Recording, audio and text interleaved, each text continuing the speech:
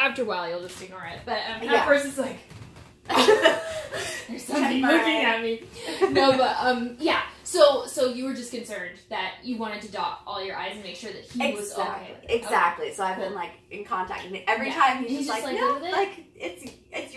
That's what I told you. Yeah. Do what you want. Yeah, it's yeah, fine. So he's great. Well, and exposure for you is exposure for him. Exactly, anyways, and like he's sure on the CD as like my Sure. music producer, and he's Sure. like one of the musicians. So he's like his name is there. His name is there, Yeah. so then you're good. Yeah, yeah, yeah.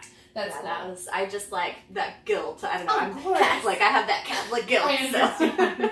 I'm Christian, so it's like, you know, I always think I'm cheating people, and actually, that's huge thing. yes. that I've been learning is that if you feel like you're cheating people, people will feel like you're cheating them.